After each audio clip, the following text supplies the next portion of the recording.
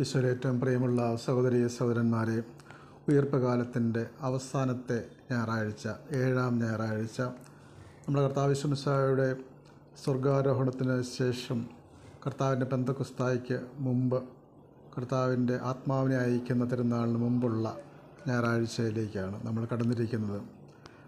ഇന്നത്തെ സുവിശേഷം വിശുദ്ധ ലൂക്കാട് സുവിശേഷം ഇരുപത്തിനാലാം അധ്യായത്തിന്റെ അവസാന ഭാഗം ലൂക്കാ സുവിശേഷത്തിൻ സുവിശേഷം തന്നെ അവസാനിക്കുന്ന ഭാഗമാണ് നാം ശ്രവിക്കുന്നത്. ഇരുപത്തിനാലാം അധ്യായത്തിൽ നാം കാണുന്നത് ഈശ്വമിശായുടെ ഉയർപ്പും ആ ഉയർപ്പിന് ശേഷം ഉള്ള സംഭവങ്ങളുമാണ്. ഈശ്വമിശായുടെ ഉയർപ്പ് ശിഷ്യന്മാർക്ക് മനസ്സിലാകാൻ വളരെ ബുദ്ധിമുട്ടുള്ള ഒരു രഹസ്യമായിരുന്നു എന്ന് നമുക്കറിയാം. അതുകൊണ്ടാണ് എമ്മാവസിലേക്ക് പോയ ശിഷ്യന്മാർ രണ്ട് ശിഷ്യന്മാർ അവർ എല്ലാം ഉപേക്ഷിച്ച് ജെറുസലേമിൽ നിന്ന് പോയവരാണ്. അവരെ കർത്താവ് തിരിച്ചു കൊണ്ടുവരുന്ന ഭാഗം അതിന്റെ അവസാന ഭാഗമാണ്. ഈ ശിഷ്യന്മാർ പതിനൊന്ന് പേരും ഒരുമിച്ച് കൂടിയിരിക്കുന്ന ആ സ്ഥലത്ത് കർത്താവ് വീണ്ടും അവർക്ക് പ്രത്യക്ഷനായി. കർത്താവ് തന്റെ ചിതറിപ്പോയ ശിഷ്യന്മാർക്ക് കൂടുതൽ ശക്തി പകരുന്ന സുവിശേഷ ഭാഗമാണ് ഇതെന്നാണ് ബെനഡിറ്റ് മനാറൻ പറയുന്നത്. കാരണം ഈശോയുടെ ഉയർപ്പ് എന്ന രഹസ്യം ഉൾക്കൊള്ളുവാൻ അവർക്ക് സ്വാഭാവികമായും സാധ്യമല്ലായിരുന്നു. അതുകൊണ്ട് അവരെല്ലാം ചിതറിപ്പോയ ആ ശിഷ്യന്മാരെ എല്ലാം കർത്താവ് ഒരുമിച്ച് കൂട്ടി ശക്തിപ്പെടുത്തി കർത്താവിന്റെ ആശീർവാദം നൽകി അയക്കുകയാണ് വീണ്ടും. നാൽപ്പത്തിനാലാമത്തെ വാക്യത്തിൽ മോശയുടെ നിയമത്തിനും പ്രവാചകന്മാരിലും സങ്കീർത്തനങ്ങളിലും എന്നെപ്പറ്റി എഴുതിയിരിക്കുന്നതെല്ലാം പൂർത്തിയാകേണ്ടിയിരിക്കുന്നു. വിശുദ്ധ ഗ്രന്ഥത്തിൽ പഴയ നിയമത്തിലെ ഗ്രന്ഥങ്ങൾ മൂന്നായിട്ട് തിരിക്കാം. നിയമഗ്രന്ഥങ്ങൾ പ്രവാചക ഗ്രന്ഥങ്ങൾ സങ്കീർത്തനങ്ങൾ വൈജ്ഞാനിക ഗ്രന്ഥങ്ങൾ എന്ന് പറഞ്ഞാൽ എല്ലാ ഗ്രന്ഥങ്ങളും ഈശോയെക്കുറിച്ച് സൂചിപ്പിച്ചിരിക്കുന്നു. ഈശോയെ ഈശോയെക്കുറിച്ച് ഉള്ള പ്രവചനങ്ങൾ അതിലുണ്ട്. അതെല്ലാം പൂർത്തിയാകുന്നത് ഈശോയിലാണ് എന്നുള്ള പുതിയൊരു വ്യാഖ്യാനം കർത്താവ് നൽകുകയാണ്. അപ്പോൾ വിശുദ്ധ ഗ്രന്ഥം മുഴുവനും കർത്താവിനെക്കുറിച്ച് സൂചിപ്പിക്കുന്നു. പഴയ നിയമം അന്നത്തെ വിശുദ്ധ ഗ്രന്ഥം എന്ന് പറയുമ്പോൾ പഴയ നിയമം മാത്രമേ ഉള്ളൂ. അങ്ങനെ പഴയ നിയമത്തിൽ ഉള്ള ആ രഹസ്യങ്ങളെല്ലാം ഈശോയിലാണ് പൂർത്തിയാക്കുന്നത് എന്ന് വ്യാഖ്യാനിക്കുന്നതാണ് പുതിയ നിയമം. അതുകൊണ്ട് ഈശോ നിയമങ്ങൾ പൂർത്തീകരിക്കുന്നതായിട്ട് കാണിക്കുകയാണ്.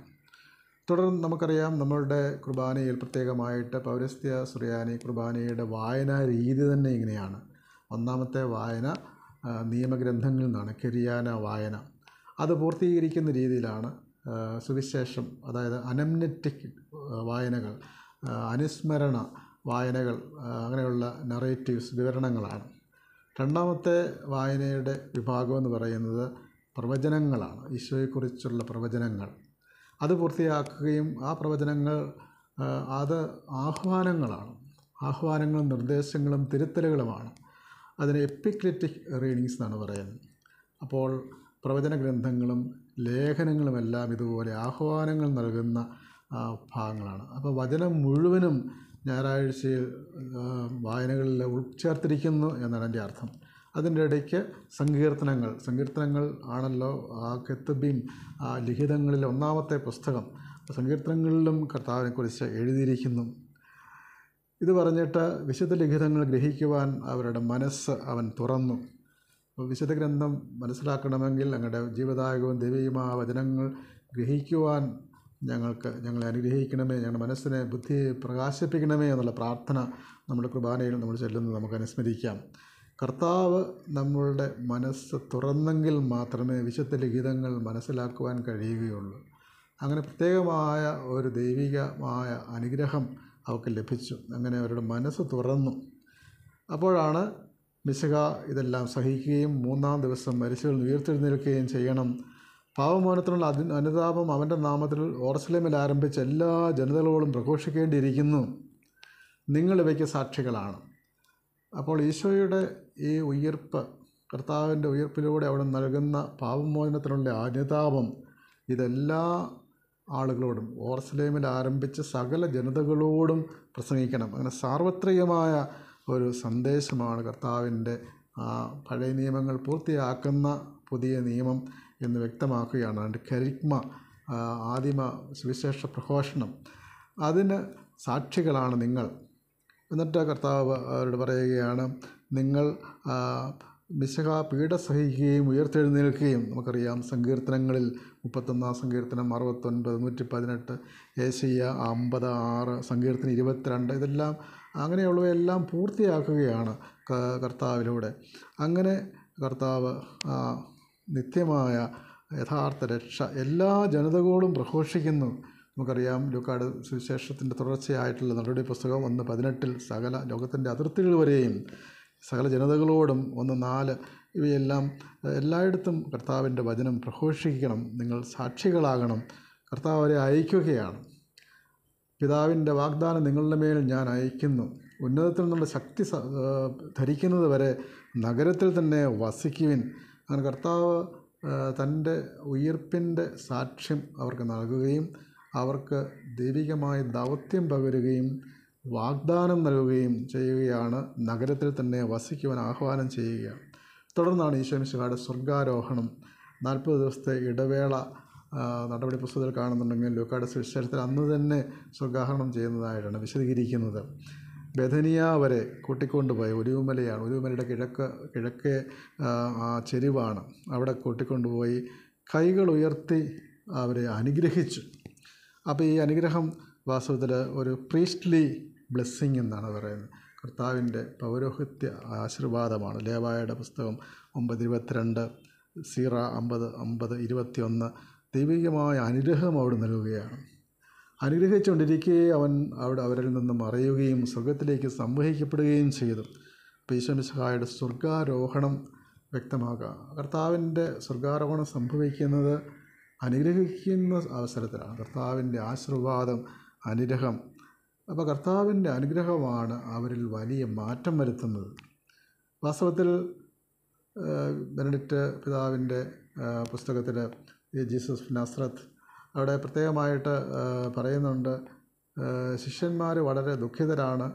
കർത്താവ് തന്നിൽ നിന്ന് അവർ എടുക്കപ്പെടുന്നു. അവർക്ക് അവർക്ക് ചുറ്റുമുള്ള ലോകത്തിന് യാതൊരു മാറ്റവും വന്നിട്ടില്ല.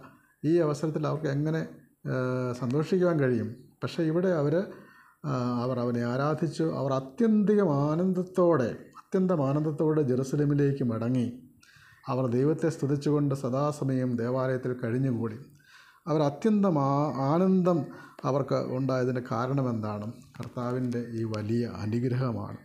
കർത്താവ് തന്നിൽ ഞങ്ങളിൽ നിന്ന് എടുക്കപ്പെടുമ്പോൾ ആ എടുക്കപ്പെടുന്നത് കർത്താവ് തങ്ങളിൽ നിന്ന് അപ്രത്യക്ഷനാകുന്ന ഒരു കാര്യമല്ല. പിന്നെ എന്താണ്? നടപടി പുസ്തകത്തിൽ ഒന്ന് പതിനൊന്നിൽ പറയുന്നത് പോലെ സ്വർഗത്തിലേക്ക് എടുക്കപ്പെടുന്ന അവൻ പോകുന്നത് പോലെ അവൻ വീണ്ടും വരും.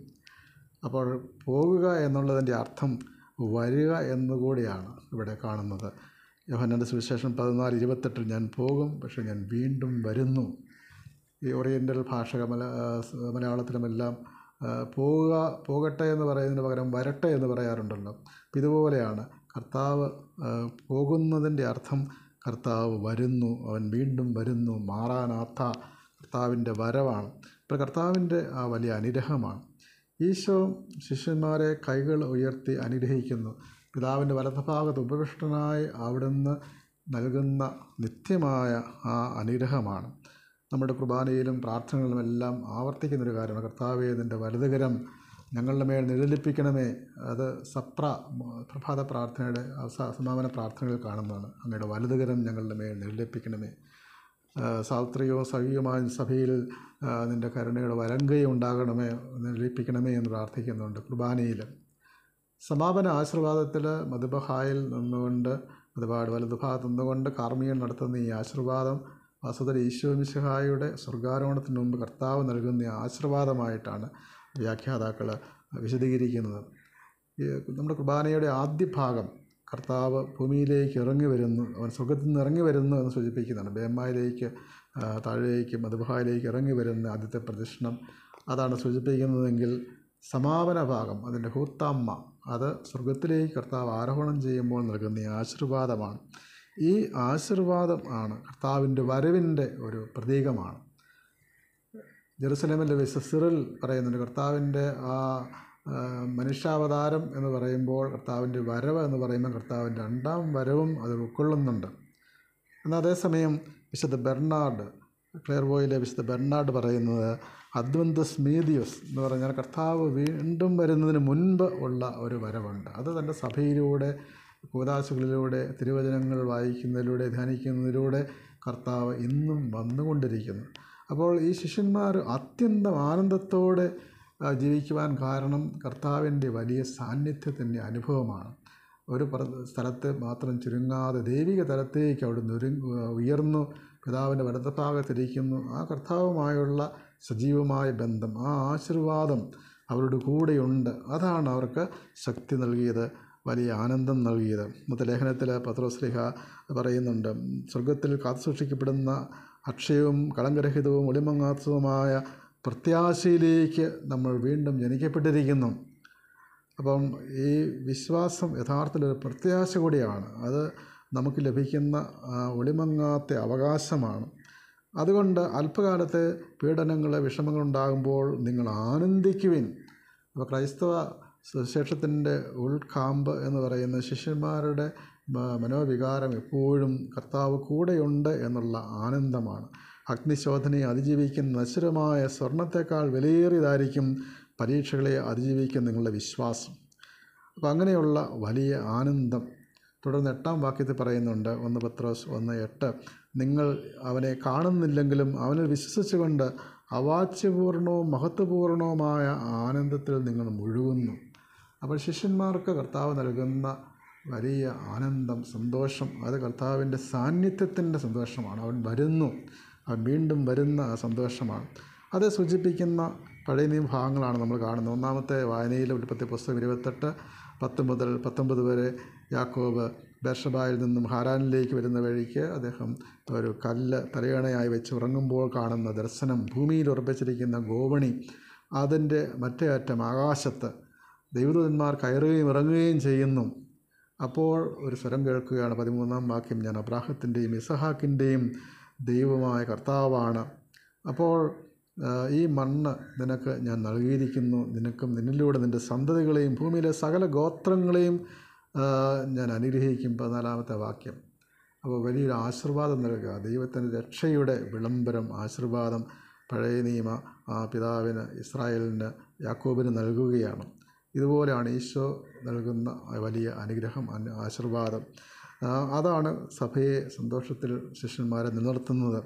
അപ്പോൾ അങ്ങനെയുള്ള ആ സ്ഥലം അത് ലഭിക്കുമ്പോൾ അദ്ദേഹം പറയുകയാണ് ഈ സ്ഥലം എത്ര ഭയാനകവും ആണ്. ഇത് ദൈവത്തിന്റെ ഭവനമല്ല മറ്റൊന്നുമല്ല. ഇത് സ്വർഗത്തിന്റെ കവാടമാണ്. അങ്ങനെ ലൂസ് എന്ന് പറയുന്ന ആ സ്ഥലത്തിന് ബേഥേൽ ദൈവത്തിന്റെ ആലയം എന്ന പേര് അദ്ദേഹം നൽകുകയാണ്. അപ്പോൾ ദൈവത്തിന്റെ മനുഷ്യർ കിടക്കുന്ന സഞ്ചരിക്കുന്ന വ്യാപരിക്കുന്ന സ്ഥലങ്ങളെല്ലാം ദൈവഭവനങ്ങളായി മാറുകയാണ്. അവിടെ കല്ലെടുത്ത് എണ്ണയൊഴിച്ച് അങ്ങനെയാണ് അവിടെ ബേധേൽ എന്നുള്ള ആ സ്ഥലം ഉണ്ടാകുന്നത്. ദൈവത്തിന്റെ ആലയമായി ആ മാറുകയാണ്. ദൈവസാന്നിധ്യം ലഭിച്ച ആലയമായി. ലുക്കാട് സുവിശേഷത്തിൽ ഇന്നത്തെ ലൂക്ക് സുവിശേഷത്തിന്റെ പ്രത്യേക വലിയ പ്രത്യേകത ലുക്ക ഇരുപത്തിനാല് അൻപത്തി മൂന്ന് അവർ ദൈവത്തെ സ്തുതിച്ചുകൊണ്ട് സദാസമയവും ദേവാലയത്തിൽ കഴിഞ്ഞുകൂടി. വിശുദ്ധ ലൂക്കാട് സുവിശേഷം ആരംഭിക്കുന്നത് ദേവാലയത്തിൽ നടക്കുന്ന ഒരു സംഭവവുമായി ബന്ധപ്പെട്ടാണ് സഹറിയായുടെ കിട്ടുന്ന ആ ദർശനം. സുവിശേഷം അവ അവസാനിക്കുന്നതും ദേവാലയത്തിലാണ്.